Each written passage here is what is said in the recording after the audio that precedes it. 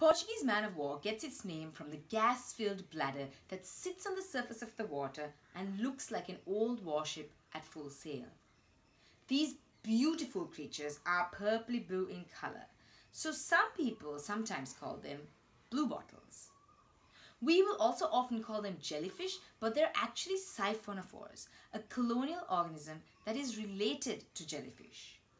A colonial organism is one that is made up of a bunch of organisms that live and work together rather than being one animal. That means if you ever see a Portuguese man of war, you aren't looking at one animal, but many. They can be divided up into four body parts or polyps that each have fun names. The pneumatophore is the uppermost polyp or the gas-filled bladder that looks like the sails of a ship.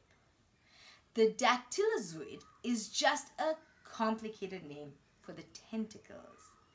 These long tendrils can grow up to 50 meters and are covered with nematocysts, tiny weapons that are filled with deadly poisonous venom that's used to paralyze and kill fish and other small species. It won't kill us humans, but I've heard it's very painful if you were to get stung. So definitely stay clear if you see one of these man wars, even if it's just washed up on a beach. The gastrozoid lies under the sail and is where their prey gets digested. And the gonozoid is the reproductive organ that's useful for making the next generation of baby Portuguese man of wars.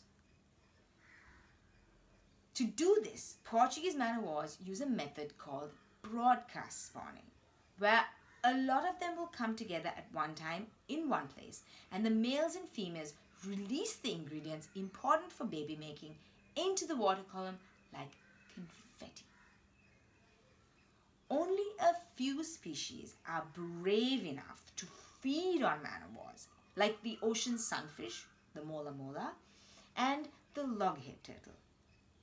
Man was don't spend any money on travel because they simply use their inbuilt sails to drift on currents or catch the winds in warm waters all across the world.